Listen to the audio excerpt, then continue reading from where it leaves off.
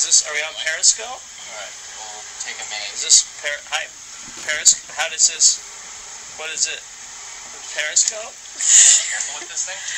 Let's go around to where it's lighter. Hi, it's Teddy, Ajay, and Morgan from InnerSpace. We're about to open a package from our friend really. Fat Apollo from Halifax. I want to ambush Can we do it. Claire's office? Oh, look. Our production This is manager. our production manager's office, so you can see there's going to be budgets. This is where I steal petty cash from.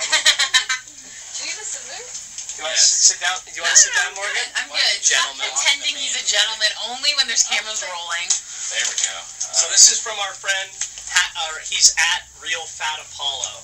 Yep. Apollo, watch it right now. What is that? What is it? Can it? you tell? Do we want to wait a minute until like this really like catches on on the internet? We got like a million people. Open it. Open it. Is, is Fat Apollo watching? Is, Is Mike he? Is watching? he? Is he? No. He's not watching. You can go to it after, even when it's done. Can you? Yeah. Oh, okay. All right. Should we call him? Is that my shirt? No, I think that's my shirt. I don't think it is. Okay. What do we got? Cool. What is it? Oh. This is wrapping. Oh, I know, but that's it's not even. cool. The, It's comics. that's not even the gift. Oh. It's oh. the Simpsons. Wicked. It's just this. I like it.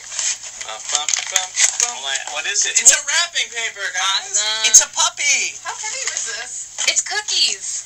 I'm just kidding. Is it cookies? Right, here's a note.